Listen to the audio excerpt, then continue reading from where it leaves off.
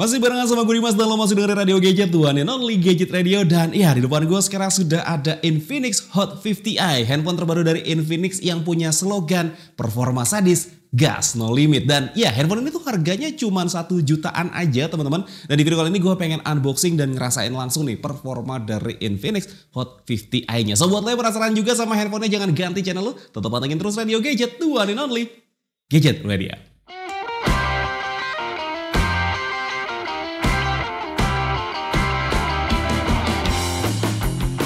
Oke, jadi seperti ini ya teman-teman penampilan box dari Infinix Hot 50i-nya di bagian depan sini ada siluet handphonenya, ada Infinix Hot 50i juga di sana. Terus juga di sini ada keterangan 48 month of smoothness. Artinya handphone ini bisa lo pakai untuk 4 tahun ke depan dan bakal dijamin nih untuk kemulusannya teman-teman. Terus juga di sini untuk RAM-nya ada di 12 GB, tapi dia tidak pure yang 12 GB ya teman-teman. Artinya dia ada di 6 plus 6 GB lagi serta internal storage-nya ada di 128 GB. Sedangkan untuk layarnya ada di 120 Hz all new 6,7 inch punch hole display dual speaker 300% ultra volume teman-teman. Jadi dia salah satu nilai jual utamanya memang dual stereo speaker dan untuk volumenya bisa di boost sampai dengan 300% nih teman-teman. Terus kemudian di bagian sisi sebelah uh, kanannya di sini ada keterangan Hot 50i. Dia di sini ada keterangan dual stereo speaker 300%. Terus juga di sini ada keterangan splash proof dan juga ada NFC-nya. Dan di sini ada keterangan wow, new hot. Oke. Okay. Oke di bagian sisi sebelah kirinya di sini ada keterangan Hot 50i dan juga ada uh, unique selling point tadi yang sama di bagian sebelah kanannya dan di sini ada keterangan kalau kita bakal dapat kartu Smart Friend di sana. Terus juga di bagian atas ini uh, ada logo dari Infinix di bagian bawahnya di sini ada keterangan untuk nomor emailnya serta untuk warna yang gue pegang sekarang ini adalah sleek black ya teman-teman.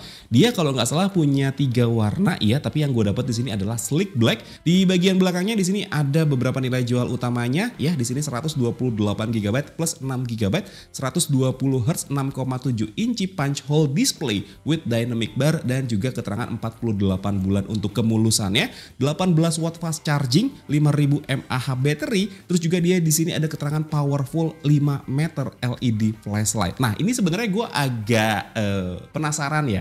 Artinya dia memang kalau misalkan kita pakai untuk uh, nyalain senternya si LED-nya itu dia keterangannya bisa sampai di 5 meter teman-teman. Kalau misalkan kondisinya mungkin gelap banget kali ya kayak gitu. Terus juga di sini ada keterangan dual speaker 300% ultra volume dan untuk kameranya dia di sini ada di 48 megapiksel dan dia menggunakan sensor IMX582 teman-teman.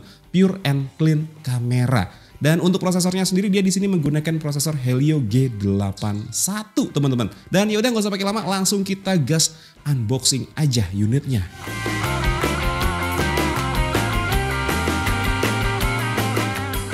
Oke ini sudah terbuka dan ya penampilannya seperti ini ya teman-teman di bagian sebelah sini kosong kita taruh dulu di sini dan kita langsung dihadapkan sama handphonenya yang warnanya itu adalah hitam. Wow seperti ini teman-teman. Tapi kita taruh dulu handphonenya dan kita lihat ada apa aja di dalam packagingnya ya seperti yang tadi gue informasikan kalau kita bakal dapat kartu Smart Friend di sana terus juga di sini ada buku petunjuk penggunaan ada casing nih teman-teman. Oh ternyata dia casingnya bukan yang jelly case tapi ini casingnya casing yang modelnya itu uh, mika ya teman-teman. Tapi dia tidak bening mikanya. Artinya dia di bagian belakangnya itu dibikin frosted. Dibikin bening cuman ada di bagian frame kameranya aja. Tapi dia di sini tidak yang full ya untuk casingnya. Karena di bagian samping kanan kiri dan bawahnya ini dibikin polosan atau uh, nggak polosan sih ya. Intinya dia tidak mm, intinya dia nggak sampai full untuk uh, casingnya nih teman-teman. Jadi cuman ujung-ujungnya aja yang terlindungi. Oke, seperti itu untuk casingnya. Terus juga di sini kita dapat SIM tray ejector. Oke, kayak gini SIM tray ejectornya. Terus kita di sini dapat charger dengan output yang 18 watt Oke, ya benar maksimalnya ada di 18 watt terus juga di sini kita dapat kabel charger USB Type A to USB Type C yang sebenarnya standar lah ya ukurannya nggak terlalu panjang tapi nggak pendek-pendek juga. Oke, ini mau gue beresin dulu teman-teman nanti gue bakal fokus lagi sama handphonenya.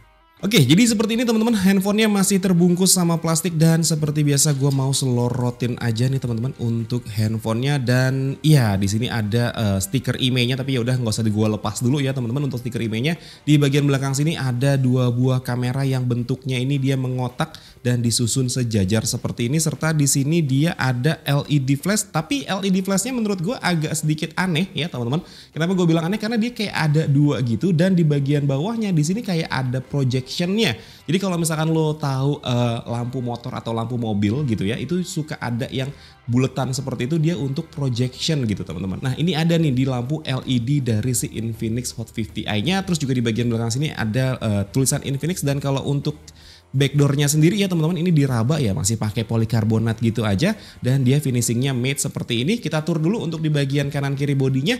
Jadi di bagian kanannya di sini ada tombol power yang kemungkinan besar ini dia berfungsi sebagai fingerprint juga. Terus di sini ada uh, tombol volume up serta volume down. Di sana di bagian atas ada grill speaker di bagian atas terus di bagian sebelah kirinya ini dia ada untuk sim tray-nya teman-teman. Kita buka untuk sim tray-nya apakah dia hybrid atau tidak Oke, okay, dia tidak hybrid ya teman-teman. Artinya lo bisa pakai dua buah nano SIM dan juga satu buah micro SD dan untuk uh, SIM tray-nya ini dia ada karet pelindungnya warna merah ya supaya dia tidak masuk air si handphonenya.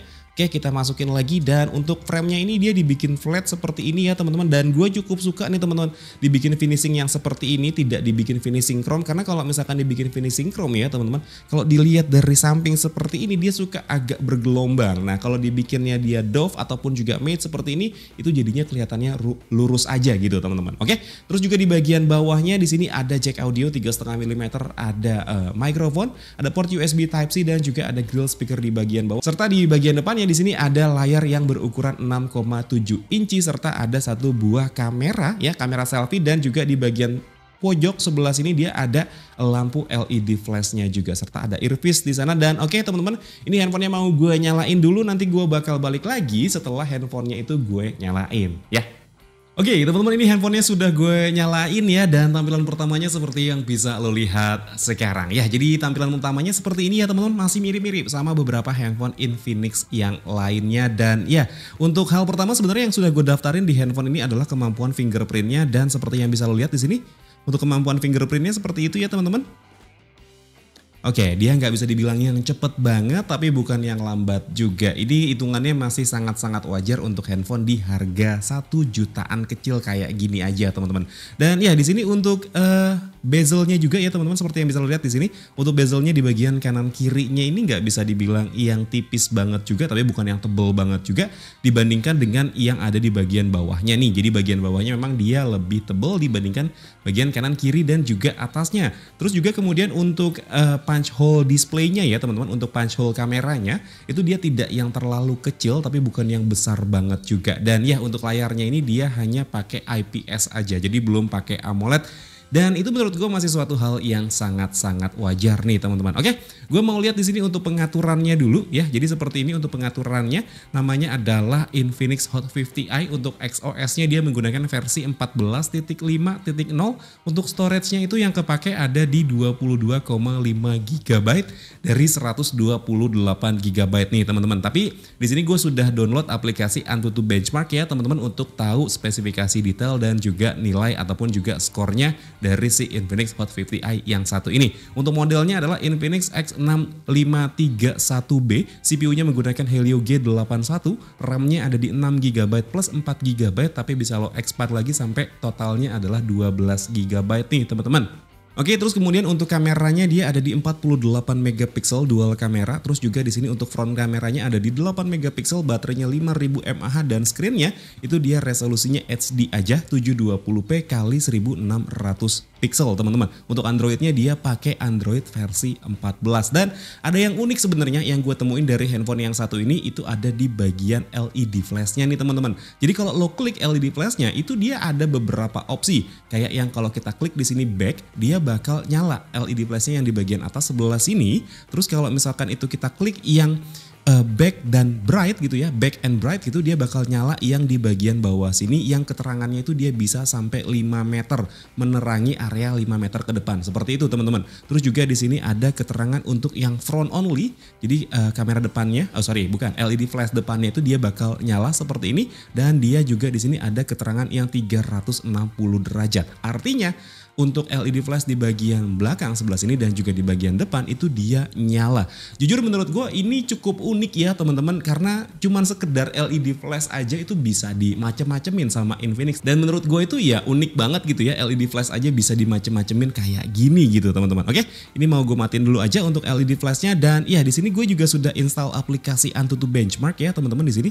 Kita lihat di sini untuk Antutu Benchmark ya, kita lihat di sini skornya dia sudah bisa mendapatkan di angka 261 ribuan poin ya teman-teman dengan Helio G81 dan juga uh, internal storage 128 GB serta uh, RAM-nya ada di 6 GB plus 4 GB lagi. Terus juga untuk storage testnya di sini ya seperti yang bisa lo lihat dia bisa mendapatkan skor sebesar 14.000 dan dia menggunakan UFS 2 teman-teman. Harusnya sih ini 2.1 atau enggak di 2.2 nih teman-teman. Dengan speed rate-nya itu ada di 301 MB per detik untuk rate-nya itu ada di 260 MB per detik teman-teman. Oke, seperti itu kita lihat di sini untuk kemampuan kameranya juga dari Infinix Hot 50i. Oke, seperti ini dia bisa untuk short video ya. Jadi untuk short video itu kalau misalkan kita mau bikin video pendek selama kurang lebih 15 detik aja gitu teman-teman. Terus juga di sini dia ada video. Oke, untuk video kamera belakangnya dia bisa mentok resolusinya ada di 2K 30 fps atau 1080p 30 fps dan dia bisa di zoom uh, defaultnya dua kali tapi kalau untuk mentoknya dia bisa sampai 10 kali seperti ini teman-teman. Untuk kamera depannya ya untuk kamera depannya juga dia bisa ngerekam mentok ada di 2K 30 fps dan juga ada di 1080p 30 fps. Jadi baik kamera depan ataupun juga kamera belakang, dia di sini nggak ada opsi untuk yang 60 fps ya teman-teman. Terus juga di sini ada uh, AI kamera, AI kamera ini autonya dia ya teman-teman. Terus juga di sini ada beauty, ada portrait juga serta di sini ada super night serta kalau misalkan lo pengen uh, munculin semua menu kameranya lu geser dari bawah ke atas seperti ini. Dia ada short video, ada video, ada AI cam, ada beauty, ada portrait, ada super night, ada AR shot, ada panorama, ada dokumen, ada slow motion dan juga ada time lapse dan ya berikut adalah sampel dari kamera Infinix Hot 50i-nya.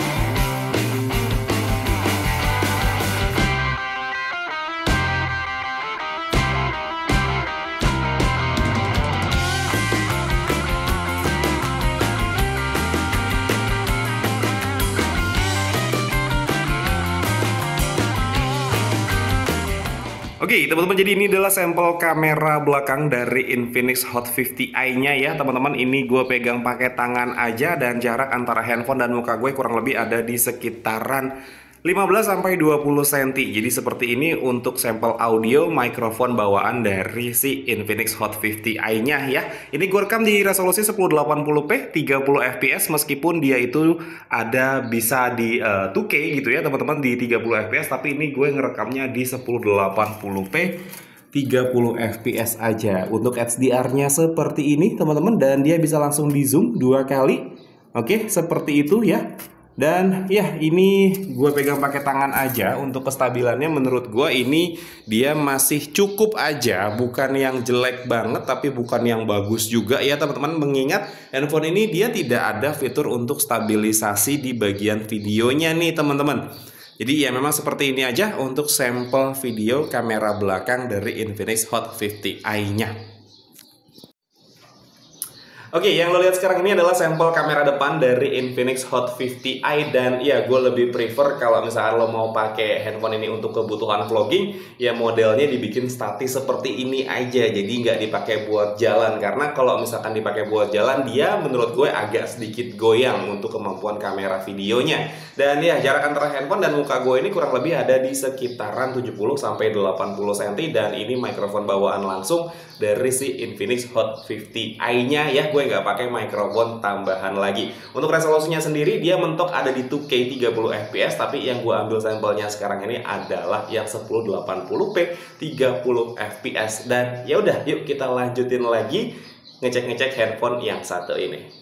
Oke okay, teman-teman jadi seperti itu ya kemampuan kamera dari Infinix Hot 50i-nya. Gue belum bisa cerita banyak mengenai handphone yang satu ini karena ini masih unboxing dan juga impresi pertama aja. Tapi yang jelas gue cukup amazed ya teman-teman sama kemampuan dari LED flash dari si Infinix Hot 50i yang satu ini. Karena ya cuma sekedar LED flash aja tapi bisa di apa ya bisa dimacem-macemin gitu sama Infinix. Ya kreatif banget gitu kalau menurut gue. Dan ya udah mungkin segini dulu aja cerita gue unboxing dan juga impresi pertama untuk Infinix Hot 50i yang satu ini. Kalau misalkan emang lo suka sama ceritanya boleh di like dan di subscribe channel gue. Tapi kalau misalkan emang gak suka boleh di dislike aja. Akhir kata gue Dimas undur diri. Sampai ketemu lagi di siaran-siaran berikutnya. Assalamualaikum warahmatullahi wabarakatuh